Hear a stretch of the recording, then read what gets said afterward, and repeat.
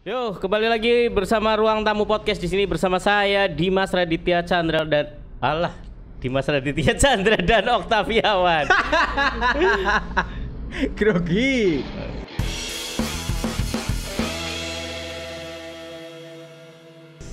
Ruang Tamu Podcast di sini bersama saya Dimas Zamid dan Bonifacio Saigi. biasanya ada tamu masalahnya. Iya, karena mungkin tamunya sangat sulit ya cari Iya, apa? Cari lagi- jadwal ya. Heeh, lagi pada bukber ya. Kita kan habis ini kita juga lagi bukber sebenarnya. Bukber sambil podcast nih. Iya untuk para pendengar setia kita, wes pendengar setia ya mungkin sudah banyak yang apa? Udah banyak yang nonton lah. mungkin Ya, udah Ya, banyak. ya, Enam puluh ribu. Wow, lumayan Satu bro. video doang. Yoi, Tapi nggak apa-apa. Yang penting ada yang mendengarkan. Itu kan protes apa protes lah. Itu kan namanya proses ya. Nah, proses. Harus apa? Harus memang benar-benar kita kan dari nol gitu Mm-mm, kan. benar dari, dari nol dan walaupun udah ada subscribernya tadinya Ya, ya tetap tetap aja dari awal karena ini konsep baru ya, Bro. Karena ini konsep baru dan ini juga apa namanya? Memang berangkat dari keresahan-keresahan kita ya, obrolan-obrolan warung kopi, obrolan-obrolan tongkrongan, Pengen sambat, Bro, lebih pengen tepatnya. sambat Ha-ha. jelas dan difasilitasi. Mm. Ya fasilitasinya pun ini, Bro, sebenarnya. Ah. Ya trukah.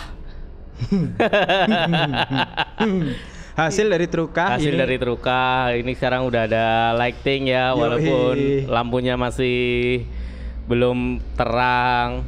Masih harus apa? Cari lampu yang lebih terang lagi Iya, ya. lebih cari. Ya nanti, Bro. Mungkin kalau Oke. actionnya udah turun lagi. Yo, wow, wow, wow, wow, wow, yoi. Ah, by the way, kalau aku sih yang penting ada yang dengerin aja walaupun kemarin kayak aku upload ini kemarin pas aku masih sakit ini sebenarnya masih pemulihan sih. Hmm. Cuman pengen udah kangen ini sama ngobrol di mic ini. Kemarin aku bikin ini eh, ngobrol-ngobrol Oh, gitu sama, si sama ini, Anjar. Anjar, Ah, Anjar, ah, Anjar. lagi Ah, cukur iya, aku iya, benar-benar. rekam pakai apa lazy pot gitu Hmm. di depan sambil ngobrol-ngobrol. Ya sambil latihan-latihan ngobrol lah. Mm-mm.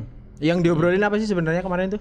Eh, kemarin itu ngobrol ini sih soal dia kan anak band, bro. Dia dia, Ya. dia itu anak band terus eh, kok bisa dan dan kenapa memilih untuk jadi tukang cukur. Mm-mm. dan ternyata memang udah ada bakatnya dia udah bakat. Tapi yang spesial i- dia itu dia udah, udah punya toko nih udah punya dua udah udah punya dua bar barbershop dan Ya. itu anak baru semua yang di situ yang jaga. Itu bener-bener dari nol dan katanya sih nggak punya nggak ada bakat cukur sama sekali Lah, terus iya ya dia bilangnya yang penting yang penting kalau mau kerja di barbershop saya Iya. niat dulu yang utama Oke, nanti ber- karena proses belajar memang bisa berjalan ya, Iya, bukan jadi- apa, bukan karena Heeh. ya mungkin kalau misalnya dari apa? Dari bayi udah pinter potong rambut, beda ya cerita. dari bayi juga bro Iya, maksudnya kan dari bayi mungkin udah ter Mm-mm. ter apa?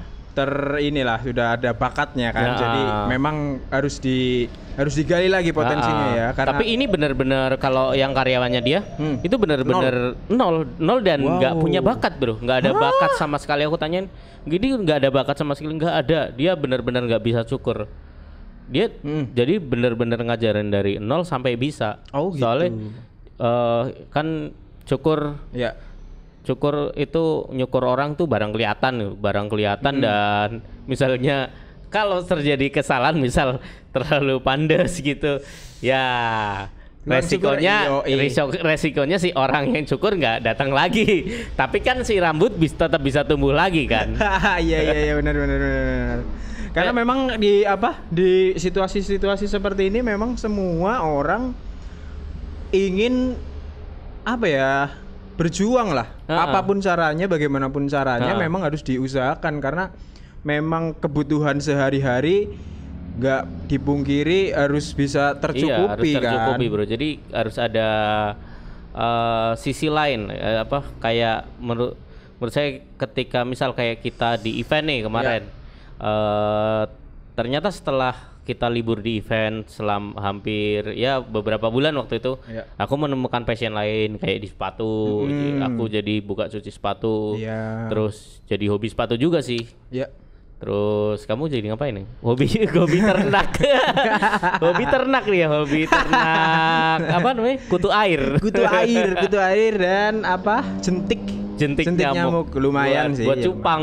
buat cupang lumayan sih sebenarnya memang itu bukan bakat ya karena udah ada dari apa udah ada fasilitasnya di Oh, situ tinggal saya berdayakan Hmm. aja gitu Tapi Gi, ngobrolin soal ini, kita ngobrolin soal proses belajar ya. Hmm. Proses belajar Oke. itu eh ini nih, Kak, jadi kayak kamu ada nggak sih hal-hal yang saat ini kamu lakukan, terus kamu eh, kayak bukan nyesel sih, kayak lebih ke tepatnya kenapa sih nggak aku nggak dari dulu gini, nggak nggak belajar ini dari Ya, dulu atau dari kecil? Ap- nggak kayak kayak setelah kita dewasa kayak ngerasa kok telat banget aku baru Hmm.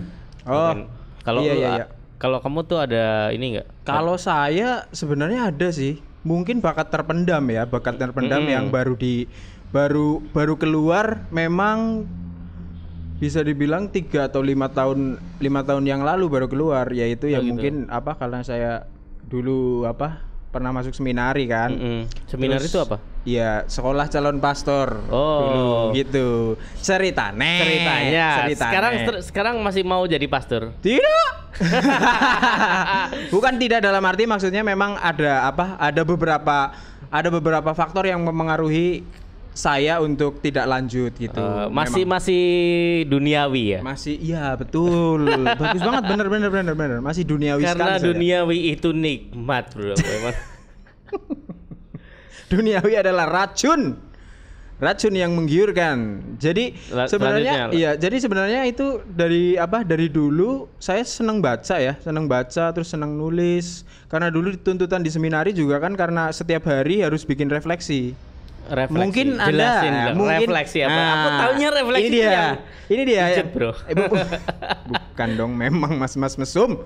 Jadi refleksi itu mungkin untuk sebagian orang awam bisa dibilang itu bukan hal yang lumrah ya, bukan hal yang apa? Bukan hal yang sering diperbincangkan gitu ya. Mm-mm. Karena refleksi ini sebenarnya apa yang kita lakukan sehari-hari, apa yang kita lakukan memang suatu kegiatan yang rutinitas sudah dilakukan sehari-hari itu kita setiap setiap malam di apa di kalau di seminari ya ini konteksnya di seminari kan Hmm. dulu saya di seminari itu setiap hari kita harus bikin refleksi refleksi adalah sebuah bisa dikatakan rangkuman rangkuman kehidupan anda satu hari satu Hmm. hari karena kita dulu setiap hari pasti nulis pasti nulis pasti Nulis. bikin refleksi Ha-ha. iya karena apa sih pelajaran yang bisa kita petik apa sih pelajaran yang bisa kita ambil dari kehidupan kita se- satu hari penuh itu ya karena memang walaupun karena dulu kan di saya kan tinggal di asrama ya di asrama. Tinggal di asrama. Di mana tuh dulu di mana dulu tempatnya? saya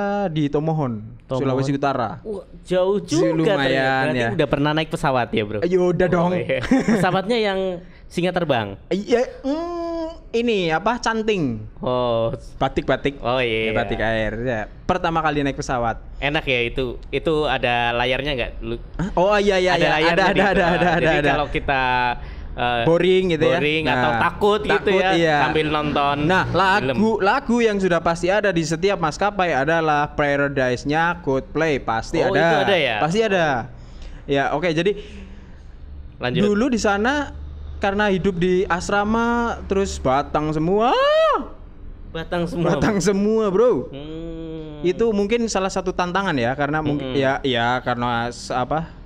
persiapan untuk menjadi seorang imam gereja Katolik memang dituntut untuk apa? hidup selibat itu nanti nanti mungkin di, saya jelaskan atau teman-teman bisa googling sendiri lah selibat itu apa. Jadi karena di situ kebanyakan mayoritas memang laki-laki semua. Mm-mm. Laki-laki semua. Jadi itu memang tantangan tantangan berat bagi saya ya Mm-mm.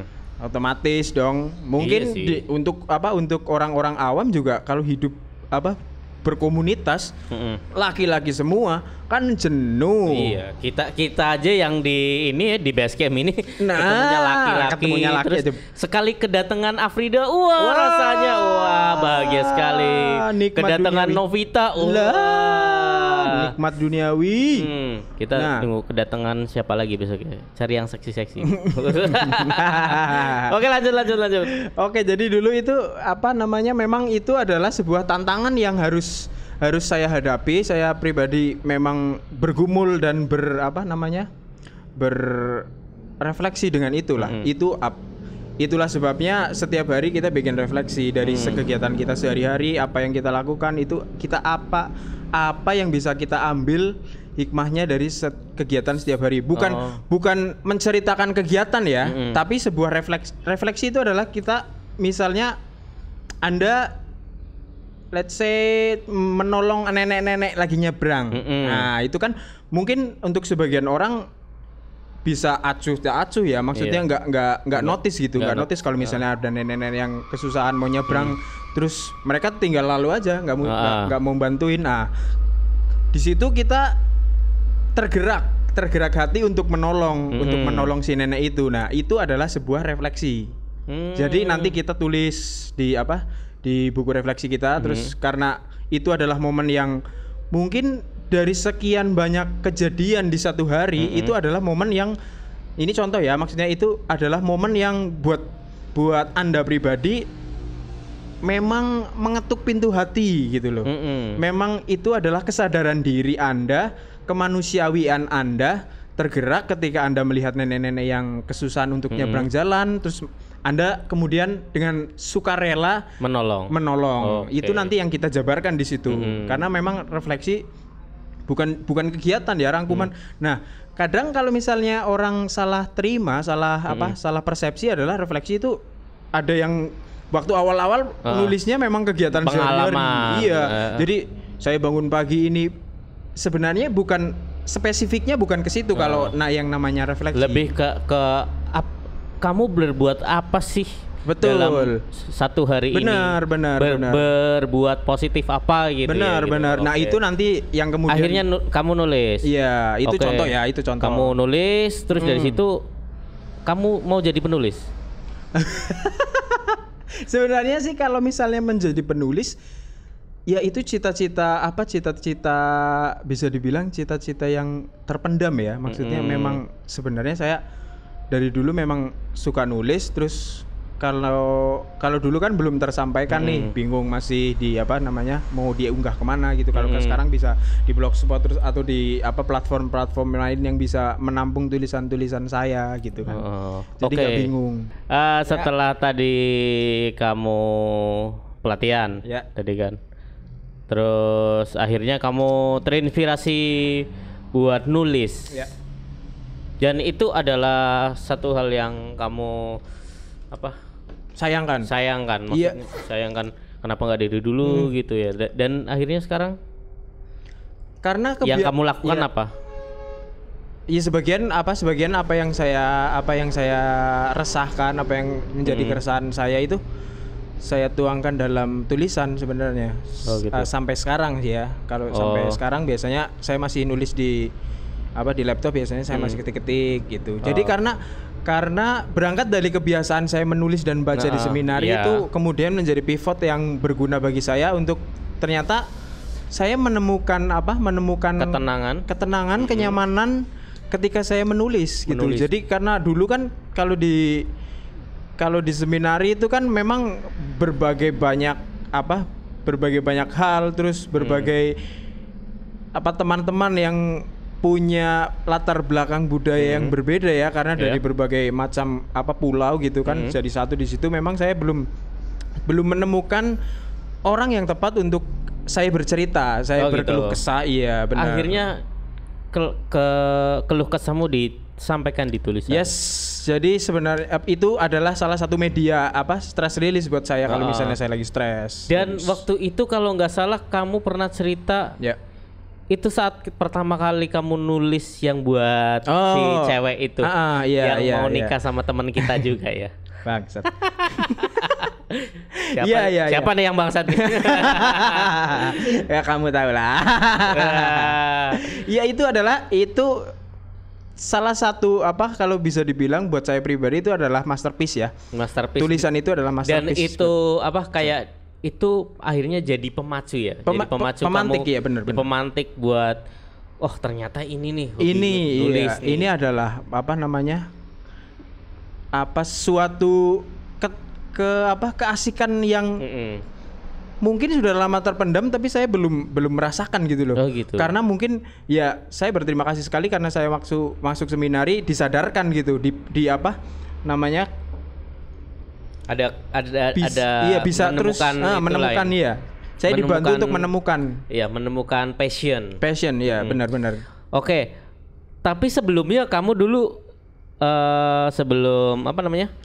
Ya, Ketika dulu SMP, SD Iya. atau SMA itu dulu sebelumnya nggak nggak pernah nulis-nulis atau ada justru baca-baca. justru itu kebalikan apa 180 derajat ya. Oh, gitu. Jadi itu adalah hal yang saya benci dulu menulis gitu. Menulis dan membaca. Nulis dan baca saya paling males, paling males kalau misalnya mau Oke, suruh berarti nulis gitu. kamu membaca dan suka menulis itu baru Iya. baru-baru ini. Baru-baru- Aku baru tahu, Bro. Iya, karena- tak- aku taunya emang udah kutu buku dari Dari apa, dari kecil ya, gitu ya. dulu, gitu. Iya, sebenarnya belum apa belum menemukan asiknya gitu baca buku dan menulis itu saya belum menemukan asiknya karena dulu baca buku itu ya karena terpaksa disuruh guru gitu. Ha-ha. Dan itu oke ya tadi Ya. akhirnya si Egi ternyata menemukan kenyamanan di Kenyamanan. menulis dan membaca Baca, yo, iya. dan sangat disayangkan kenapa dari Nggak dari, dari dulu, dulu ya. kan? Iya benar juga. Nah, Oke, kalau aku Hmm. pribadi sih ya, kalau aku pribadi kalau itu memang jujur ya, eh memang bener sih. Aku aku Ya. juga menemukan kenyamanan Hmm. dalam membaca. Aku lebih ke membaca. Kalau menulis, aku lebih ke menulis lirik sih sebenarnya Iya, lirik benar, lagu benar, ya. Eh, itu baru setelah bikin band. enggak. Aku 2019 bro. Hmm, Serius. Lebih baru lagi ya. Lebih Maksudnya baru lebih, lagi. leb- belum belum lama banget Belum ya. lama banget 2019 2018 2019 ya. Iya. gara-gara si Firsa besar ini. Hmm. Gara-gara- Kok bisa? Kok bisa mendapatkan apa-apa yang kamu lihat dari seorang Firza Besari? Ah, jadi gini, jadi sebenarnya aku tahu Firsa Besari itu dari dulu, udah dari dulu itu edi- dari ini editor kita nih, editor kita si oh, oh iya iya iya. Dokar. Dokar Dokar benar. Dokar itu ngenalin Firs- Firsa Besari itu kayak Oh, kalau iya? salah iya dia dari SoundCloud dulu dari SoundCloud dan Ha-ha. dia punya terus dia nyari ketemu di website eh saya nobatkan sih eh, dia Firsa Bersari Firsa Bersariers da- pertama di Kebumen dia Dokar tuh. nah eh, dia akhirnya download full albumnya Iya, waktu iya. itu di 2013 apa 2014 gitu Iya. pokoknya. Dan aku suka waktu itu sih Hmm. dulu lagunya April sama ah, kalau aku dulu yang suka eh cerita kita Oh. apa judulnya? hmm, Ah, mungkin apa? Baik-baik saja. Bah, Baik-baik hidupkan saja. baik baik, baik Ah, saja. hidupkan baik-baik saja. Nah, kebetulan itu relate banget. Hmm. Dulu aku PDKT sama istri pakai lagu itu. Pakai lagu ketika itu. mau pacaran, ketika OTW pacaran nih. Oh, ha. Nah, Terus akhirnya dari situ aku tuh ngefans banget sama Virsa itu dulu Hmm. akhirnya. Tapi memang waktu itu kan belum yang belum yang jadi followers banget sebatas follow dan ya tahu-tahu tweet-tweetannya doang Iya. kan. Terus dia mulai terkenal di kalau nggak salah 2016 2017 dia mulai nulis lagu Iya. nulis buku Oke. nulis buku dia udah nulis lama cuman eh, yang viral itu yang garis waktu itu kalau nggak salah Ha, ha. Garis waktu viral di 2016 atau 2017 gitu terus dia nulis nulis terus nah ketika itu akhirnya di 2018 udah mulai ini nih udah mulai hype banget dia dan aku Iya. akhirnya mulai kepoin Semakin kepoin ya, lah semakin mendalami ya, iya, semakin mendalami ya. ini orang gimana sih kok Ya. kok akhirnya bisa terkenal terus Hmm. Dan itu belum tertarik waktu itu sama bukunya Ya.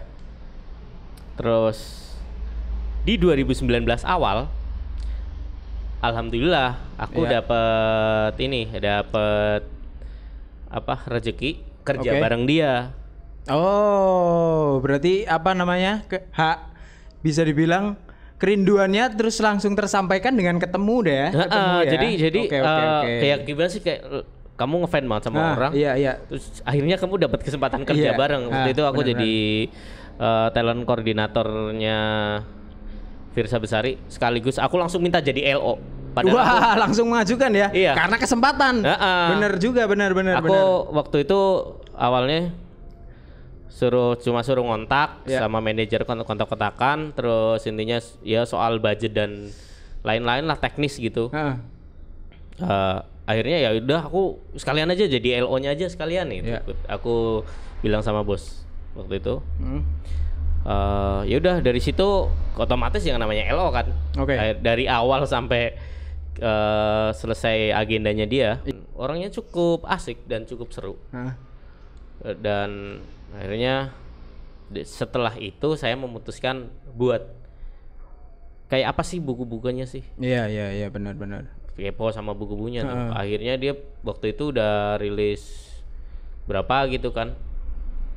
Eh, Aku beli semua pokoknya habisnya waktu Oke. itu. Heeh. Waktu itu aku beli semua bukunya. Ya dari satu buku terus ke buku yang lain Buku apa pertama yang dibeli?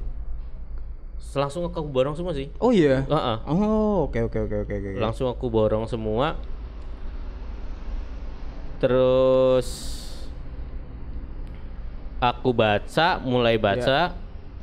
Terus jadi penasaran nih, maksudnya kayak kita nonton film yang udah kita seneng, nggak tahu endingnya kan ini kan. Kentang ya. Iya kentang. Kentang Dan kita banget. mau langsung balik ke langsung di halaman terakhir, pun eh, Kurang ya. deh, kurang rasanya kurang, kan. Kurang ya, oke. Hmm. Jadi dari situ langsung aku baca semua tuh. Iya.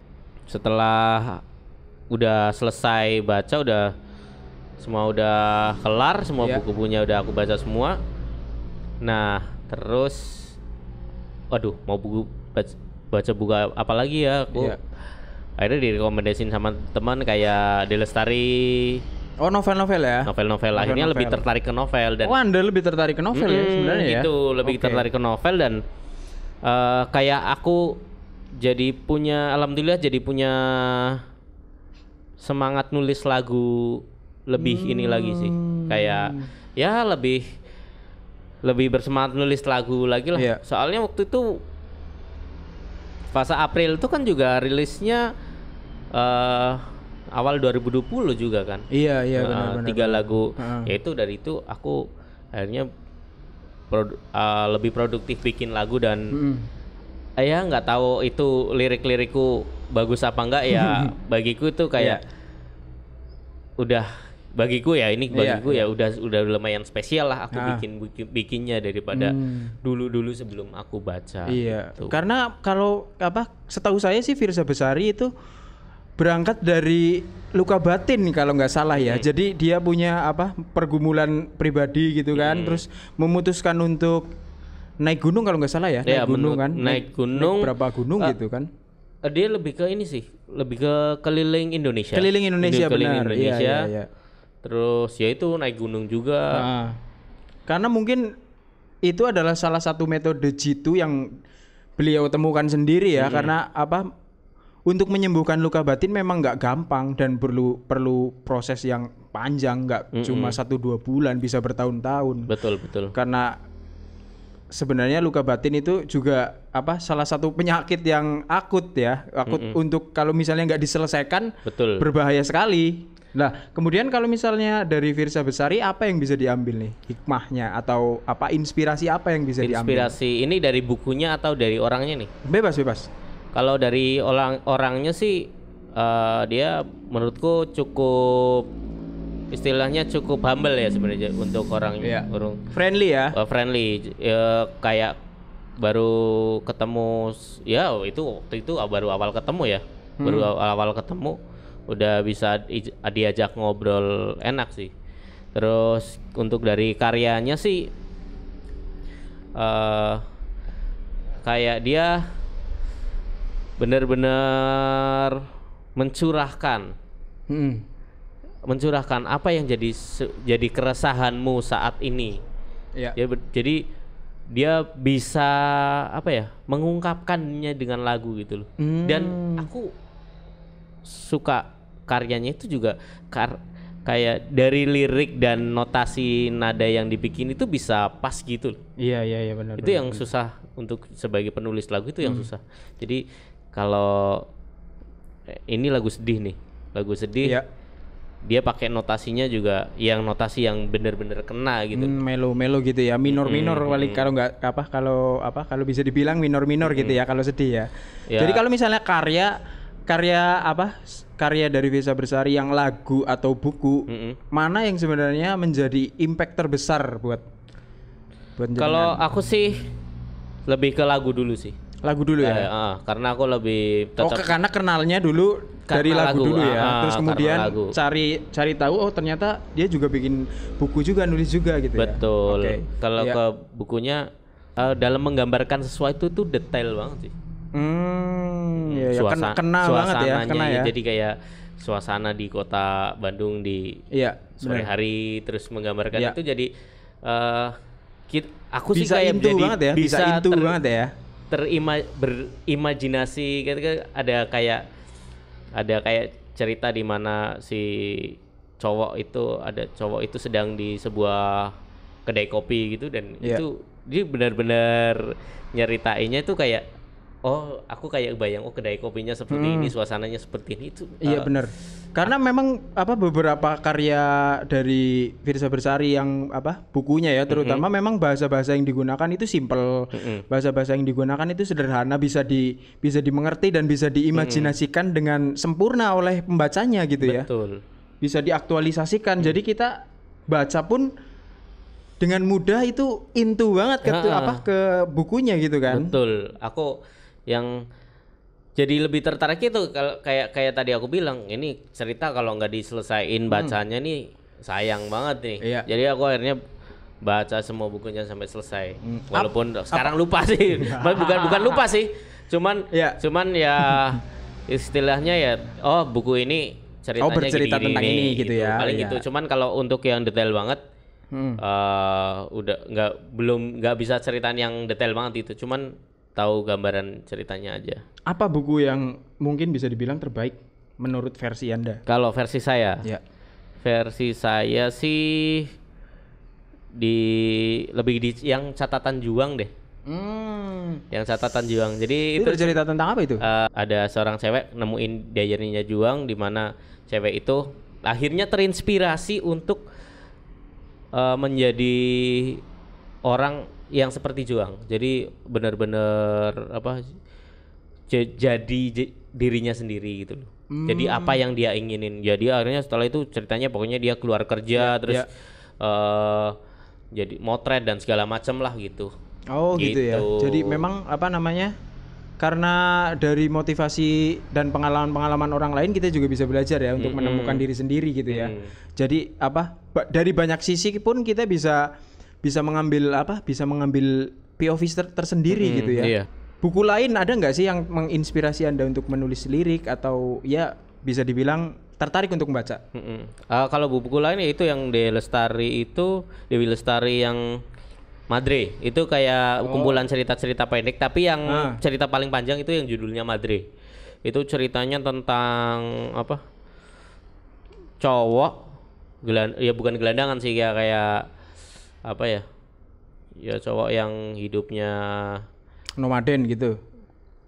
Apa belangsa? aku lupa apa ya pokoknya hidup mungkin nomaden gitu yang pokoknya udah sendirian gitu Hmm. terus tahu-tahu kayak dapat ini dapat apa dia kayak dapat warisan itu Oh. tapi warisannya bukan harta, Harta. bu- Tapi tapi warisannya kayak sebuah toko roti apa apa si madrinya ya maksudnya nggak tahu itu pokoknya dia dia terus disuruh ke toko roti di toko Iya. roti itu ada ini pokoknya ada eh yang pengembang roti pengembang roti tapi itu yang ceritanya Mm-mm. eh udah bertahun-tahun gitu Oh, iya iya iya iya Jadi- benar benar. Biang roti Mm-mm. Nah, ah. Hmm. ditinggal di dalam kulkas itu dia di, cuma dikasih kunci di da, di bu, apa kuncinya buat buka kulkas Iya. di dalam kulkas itu isinya biang roti itu Oh, memang dari dulu Anda ini suka baca novel atau memang lebih lebih lebih prefer ke novel daripada buku-buku esai lainnya gitu? Ah, kalau saya lebih Kenapa prefer ke memilih? novel sih Ah, jujur mungkin ini juga akhirnya ke turun dari ibu saya nih. Ibu saya dulu orang yang suka baca novel. Oh, iya? Heeh. Oh Dia gitu. suka novel-novelnya kayak Agatha Christie gitu. Mm-mm. Waduh, Ah. wow. Jadi mungkin akhirnya itu yang bikin aku senang baca gitu Iya, ya. iya. Senang baca terus. eh kenapa novel? Kenapa, Kenapa novel, novel? Ya ini kayak aku kadang eh, butuh satu cerita untuk Iya. aku jadiin sebuah lagu. Oh, memang harus ada apa namanya? pemantik ya. Nah, ah. harus ada pemantik untuk bisa apa? Bisa relate dengan kehidupan Anda sehari-hari terus Mm-mm, dituangkan betul. dengan dalam lirik lagu gitu ya. betul. Hmm, lebih lebih prefer ke novel memang. Iya, jadi Oke. ya novel novel-novel percintaan atau novel-novel itu Fiksi kan kayak gitu ya? itu kan kayak ini ya kayak kita didongengin, kita diceritain gitu kan. Iya iya iya. Jadi lebih pas aja ke terkorelasi sama aku bikin lagu tentang asmara gitu. Oh, gitu ya. Bener apa? Backgroundnya sama gitu ya. Mm-mm. Jadi bisa relate ya. Ha-ha. Oh, oke. Sebenarnya kalau misalnya nggak masalah sih semua buku apa jenis apa pun itu, genre apa pun itu memang baik sebenarnya. Betul, Tinggal betul. apa? Yang yang kalau menurut saya sih lebih ke ini sih, lebih ke point of view dari buku itu tersebut ya. Jadi sudut pandang, sudut Nah. pandang dan pola pikir dari apa? Dari penulis untuk Nah. menulis buku itu tuh apa yang apa yang bisa kita ambil dari sudut pandang itu gitu dan Betul. pola pikir kalau misalnya kalau misalnya lebih jauh lagi gitu kalau misalnya saya baca buku memang apa yang saya ambil justru ceritanya mungkin memang asik ya Ah. tapi saya lebih ke pola Cara pikir uh, pola pikirnya penulis dalam Yes. menuliskan cerita. yes Aku justru juga setuju. Jadi Yes. kayak aku nggak tahu ya. Cuman eh, dari sudut pandang penulis itu jadi aku juga kayak berpengaruh ke psikis dan iya Apa iya, ya? iya kayak oh ternyata kalau kita menemukan masalah seperti ini menjelesaikannya seperti ini. Hmm, bisa dan- dilihat dari beberapa Ya, sisi ah, gitu kan ah, ah. Jadi kayak lebih ini aja sih kita Iya. kalau lebih apa ya? nggak tahu nggak tahu nih ya lebih bijak atau gimana Iya. tapi ya kayak kayak Ah. lebih yang biasanya kalau ada suatu permasalahan oh, ini ini ini ini nah, iya itu benar-benar kayak kita harus merenung bentar Iya, kita benar, benar, pikirin benar. ini masalahnya gimana Mm. Mm-mm. dan cara selesaiinnya gimana. Jadi kayak lebih ini aja kita mungkin mungkin lebih bijak. Iya kebanyakan benar. akhirnya membuat kita lebih bijak dalam menyelesaikan satu masalah Oke, sih. itu yang eh, Pak, itu adalah poin penting sih sebenarnya kalau misalnya baca ya baca apa pun itu buku, mau buku, mau artikel, terus mau makalah atau mau skripsi orang, sebenarnya kita mencari point, of view dari penulis, si penulis dan pola pikir pola pikir yang disampaikan atau yang dituliskan oleh penulis itu seperti apa? Itu yang bisa kita contoh, itu yang bisa Betul. kita ambil. Jadi dan ini eh aku ju- juga gini ya hmm, aku oke aku seneng baca Oke. akhirnya aku seneng baca tapi eh ini ka- kalau kamu paham gak sih hmm.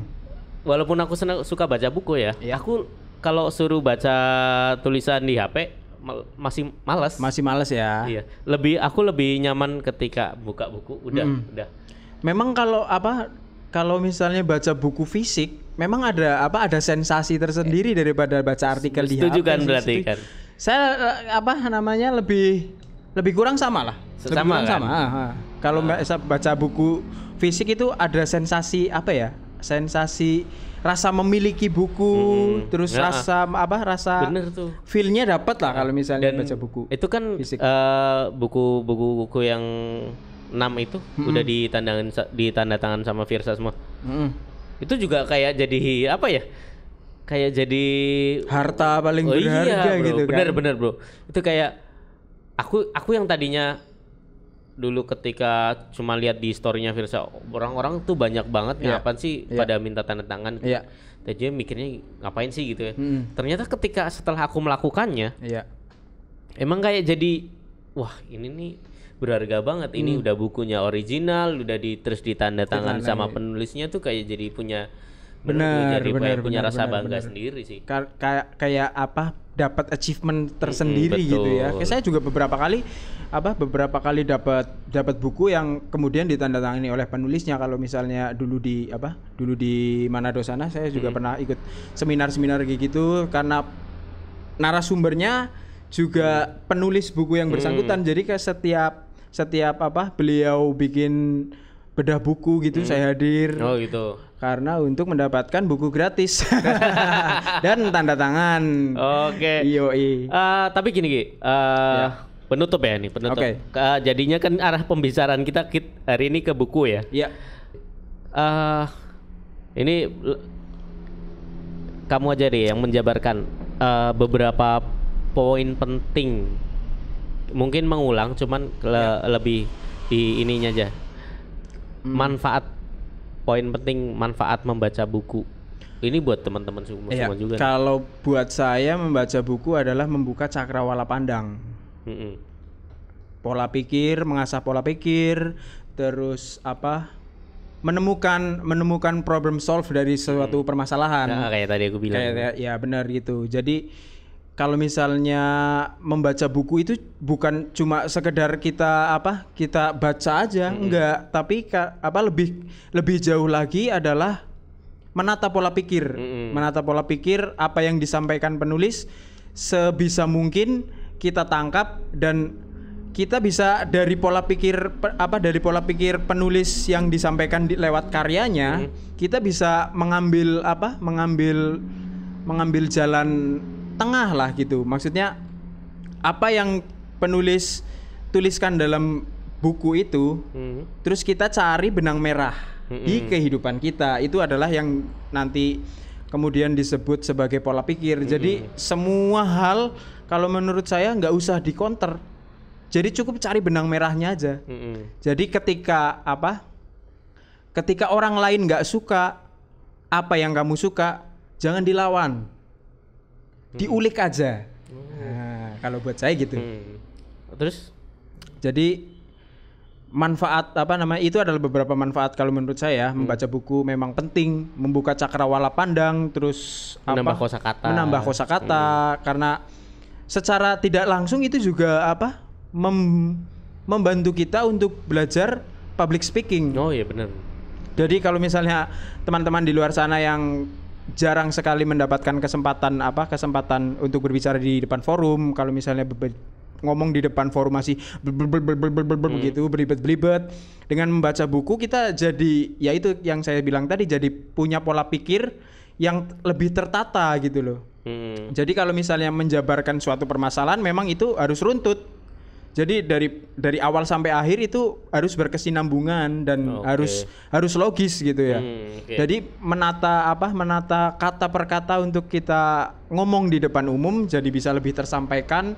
Ya walaupun nggak nggak melulu tentang apa tentang kata-kata yang Mm-mm. Sulit-sulit. sulit-sulit gitu. ya istilah-istilah yang Hmm, wah wah, ya, out of nowhere gitu iya. ya lebih lebih baik anda mendapatkan apa men- bisa melihat sisi lain bisa melihat sisi lain dari sebuah permasalahan lalu anda sampaikan dengan cara anda jadi masuk dengan cara mereka tapi keluar dengan cara anda Oke, kalau menurut saya gitu gitu ya. Udah. yoi, yoi. Oke. Oke. Itu dulu ya teman-teman. ya Pembahasan kita hari ini dan Yoi. masih banyak lagi tuh kayak tadi eh apa ya soal asmara gitu Hmm, ya. iya iya Dijabarkan lagi nih nanti di Iya, iya, iya, iya. apa di episode cerita ya, selanjutnya. masih Oke, episode gitu dulu teman-teman. Terima Yoi. kasih sudah menonton. Selalu jaga kesehatan. yoi saya Boniface Egi Saya Dimas Zamit.